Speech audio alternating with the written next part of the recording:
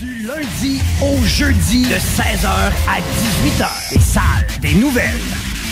17h33, nous sommes actuellement avec M. Kevin Lacasse, qui est intervenant psychosocial pour euh, Trajectoire Emploi, qui se situe juste au-dessus de nos locaux, ici au 49 rue Fortier. Salut Kevin, ça va bien? Ça va bien, merci pour l'invitation. Yes, on est bien content de te recevoir. Écoute, euh, tu es ici aujourd'hui parce que cette semaine, c'est la semaine de la persévérance scolaire qui débute aujourd'hui, qui finit le 15. Exactement. Donc, du 11 au 15, c'est la semaine de la persévérance scolaire. ça, ça vient tellement toucher. Je vais devoir euh, passer le statut de ma cousine. Sept ans et demi d'école, un peu comme toi, Ok, Joe. ouais. Euh, mais tout ça a pris moins de temps. Ouais, ans, j'ai blitté ça Mais 4 ans et demi. ouais. Après sept ans et demi, elle a dit Je peux enfin dire que j'ai réussi. Ouch! Génial. Hey, écoute, est-ce que tu peux nous parler un petit peu de trajectoire emploi, euh, Kevin? Yes, trajectoire emploi, c'est emploi, orientation, entrepreneuriat. OK. Donc, euh, on offre des services pour les gens qui ont plus de 15 ans. On n'a pas de limite d'âge.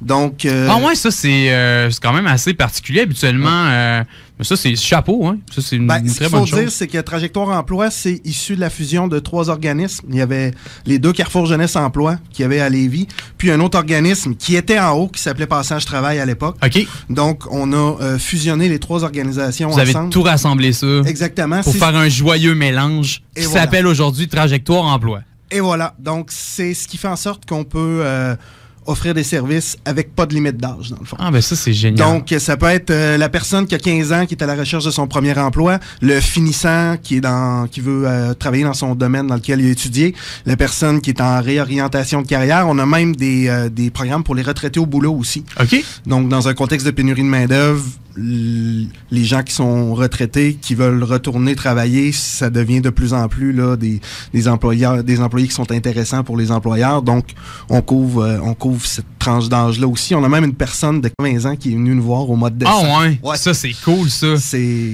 c'est comme notre record pas mal.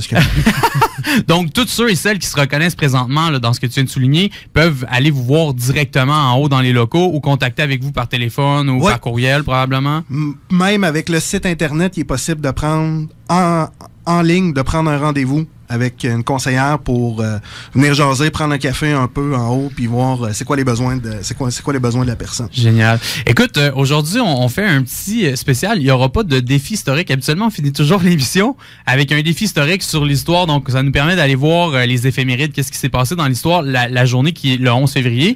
Mais là, ce qui est Toujours cool, comme c'est ça que je me démarque. ben, c'est ça. mais mais tu, tu vas pouvoir, tu vas pouvoir parce que Kevin a un questionnaire pour nous aujourd'hui. OK. Yes. Donc, écoute, on va, t- je vais te laisser aller avec les questions, puis euh, tu vas nous instruire sur la chose en même temps.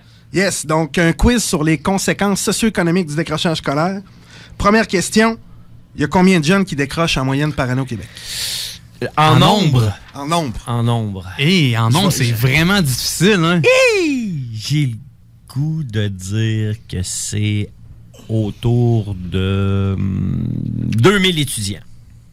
Soyez généreux, les amis. Ouais, hein, moi, Ah, c'est vrai, je me disais, c'est peut-être pas moi, assez. j'ai- moi, j'en rajouterais un genre de, de 10, le genre, je te dirais 13 000 étudiants, moi, à peu près par année. Il est presque bullseye, c'est 12 000. Ah ouais? Ouais. Boom! Félicitations pour ça, Joe. Quoique, il n'y a pas de félicitations à notre société québécoise de Non. mettre euh, 12 000 Non. étudiants euh, sur le marché de l'emploi là, qui n'ont Exactement. pas leur DES.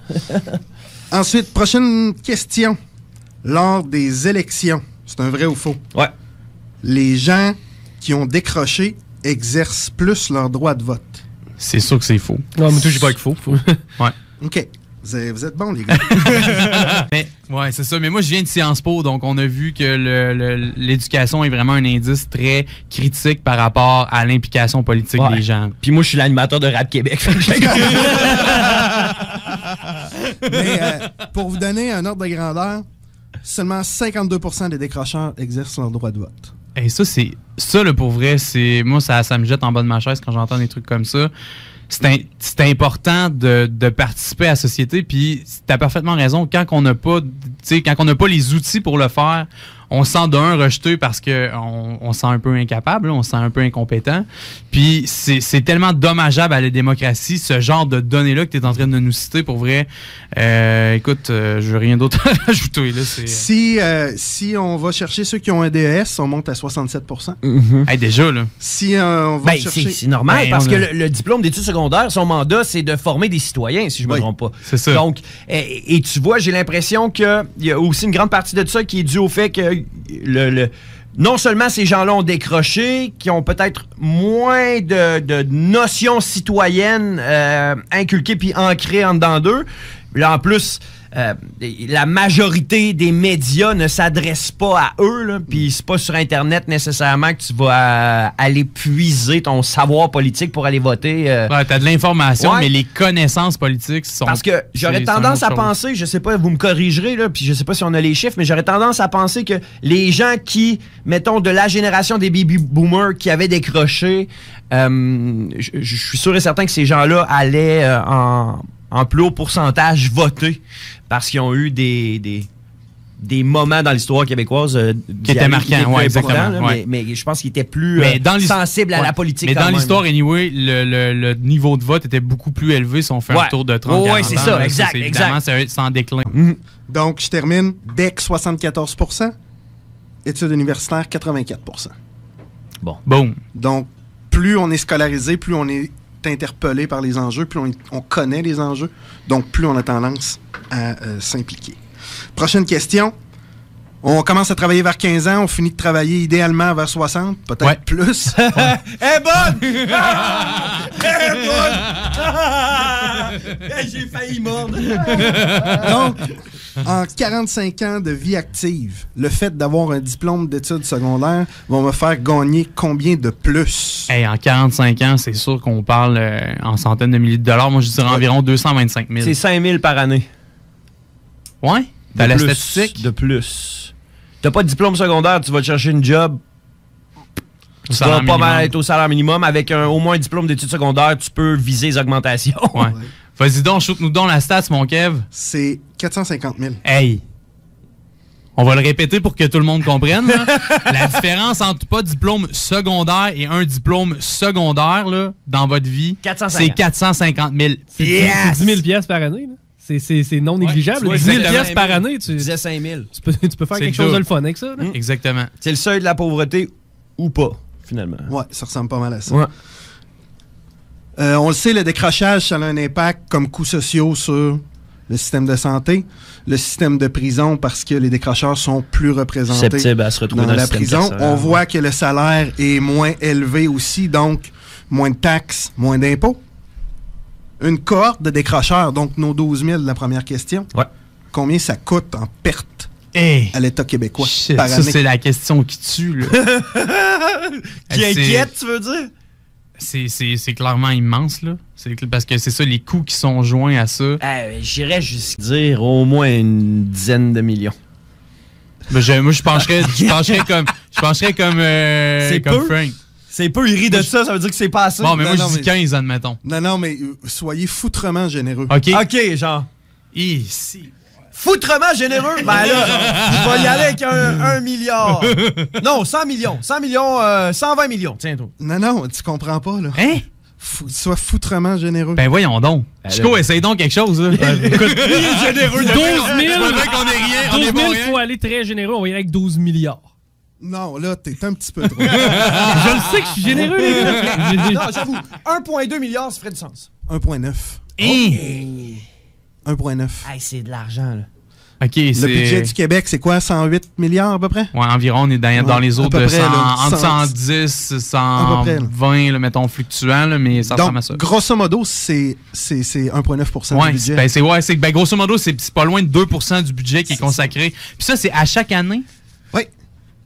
Ah, ça, c'est une bonne raison de Hey, faire l'éducation ta première priorité en politique. En Ah non, cas. ça, ça, c'est ça, c'est clair, net et précis. Euh, écoute, Kev, je sais pas si tu avais d'autres questions pour nous ou si tu aimerais qu'on traite ton dernier point. Hey, c'est intéressant, par exemple. c'est, c'est, euh, ouais, pour vrai, c'est. Je vous la fais vraiment quick, mais je vous donnerai pas le choix. L'espérance de vie d'une personne qui n'a pas de diplôme diminue entre 7 et 9 ans. Hein? À cause de la précarité d'emploi, entre autres choses, Ouais. puis de tous les impacts avec les coûts sociaux qu'on a parlé. Ben, ça, ça, c'est clair parce que moi, en tout cas, bref, j'avais déjà vu une étude qui disait que surtout les personnes instruites sont capables de, de survivre avec un budget qui est énormément moindre parce que, euh, tu sais, on sait tricoter, on sait, on sait comment euh, mieux s'adapter, etc. Donc, euh, juste dans notre, dans, dans notre gestion du budget, on est en mesure d'en tirer davantage pour le cash qu'on a Ouais, comparativement à quelqu'un. Puis déjà, ils n'ont pas de sous, puis en plus, ils n'ont pas les outils pour maximiser l'efficacité de leur porte-monnaie. Ouais. Donc, si on a des conséquences sur le des conséquences des conséquences socio-économiques pardon du décrochage scolaire, ça prend des moyens, des outils à mettre en place pour améliorer cette situation-là. Et je vous parle de l'école du milieu, qui est euh, notre école alternative dans nos locaux. Donc, c'est une école pour les raccrocheurs 16-25 ans. C'est un milieu adapté vraiment pour eux. Donc, ils ont une enseignante orthopédagogue avec eux, puis un intervenant. Donc, l'horaire est adapté. Ça a été décidé par les jeunes, donc ils n'ont pas d'école le vendredi. Le matin, ils sont en académique. L'après-midi, ils sont en activité, exemple de la robotique. Euh, ils font, euh, ils ont un partenariat avec le centre de plein air, donc ils Ok. vont donner un coup On de les main a reçus Ah, ouais. aussi. Oui, ça se peut Ils que sont c'est ça. se venus qu'ils Ouais, venus. hein? Euh, ensuite, euh, ils vont tout le temps, là, toutes les années, faire une... Ils partent en raquette pendant une couple de jours. Euh, bref, c'est des activités vraiment pour... Ben, qui sont cool, qui sont Ouais, intéressantes. C'est pas des activités de merde, on va se le dire. Ben non. là. Pour, C'est- pour raccrocher les jeunes, justement, euh, à l'école. Dans les circonstances, une activité d'initiation à la survie, c'est peut-être pas une mauvaise chose. Excellent. Et là, tu as des présentations qui s'en viennent, je pense, pour Yes. l'école du milieu. Dans le fond, on a deux événements qui n'ont pas rapport avec l'école du milieu, mais on a deux événements cette semaine, mercredi. C'est un rendez-vous employeur. Donc, on a deux entreprises qui viennent euh, présenter leur entreprise, leurs besoins en main-d'œuvre. On a PHTech et Synertech qui viennent. OK. Donc, euh, c'est de 9 à midi, le 14, café, bang, entrevue garantie pour ceux qui se présentent. Ah, ça, c'est génial. nice. Et le 27 février, on a un challenge entrevue. Ça, dans le fond, on amène des gens de ressources humaines dans nos locaux, puis tu peux faire une vraie simulation d'entrevue OK. avec, avec un, quelqu'un qui engage des gens dans la vie. Et tu as un feedback après. C'est ça. Tu sais. une rétroaction. Puis ça, c'est vraiment génial parce que je vais vous le dire, si vous le faites dans la vraie vie, vous ne savez pas pourquoi vous avez pris souvent. Là. Ouais. On vous donne pas la raison. Là. Donc ça, c'est- vraiment génial comme initiative. là. Donc, le seul feedback que tu as quand tu passes une entrevue, c'est l'employeur C'est qui t'appelle ou l'absence d'appel Exactement. des employeurs. Donc, Ça ressemble pas mal à oui ou non. Puis, tu sais, souvent, le bout le plus stressant puis le bout le plus difficile dans la recherche d'emploi, c'est justement ce bout-là Voilà. au niveau de l'entrevue. Ouais, Donc, Exactement. une belle occasion pour venir vous pratiquer. Lâchez-nous un coup de fil, 418-833-7122, 418-833-7122 ou demandez à Google Trajectoire Emploi. Ouais, ou passez nous voir, vous viendrez nous Ben, dire salut en même temps au 49 rue Moi, j'ai le goût de. Écoute, Joe, je sais que peut-être faire ça en ondes en direct, c'était moins ça un peu, mais je vous lance l'invitation. J'ai une belle tribune du lundi au vendredi de midi à 15h, puis un public qui assurément voudra avoir ces informations-là. Ouais. Donc, si vous êtes disponible à, à revenir euh, dans l'émission Rap Québec le midi, ça va me faire plaisir de vous accueillir. Avec grand plaisir. Bon, ben génial, on a un match. Cupidon avant la Saint-Valentin. Yes, un gros merci, Monsieur Kevin Lacasse, qui est intervenant psychosocial à Trajectoire Emploi. Donc, euh, Moi, si je vous... voudrais dire qu'il a vraiment bien vendu sa salade. Ouais, moi aussi, je suis parfaitement d'accord. Donc, on vous laisse avec Lil Peep et on se retrouve de l'autre côté de la pause. Yes. Merci.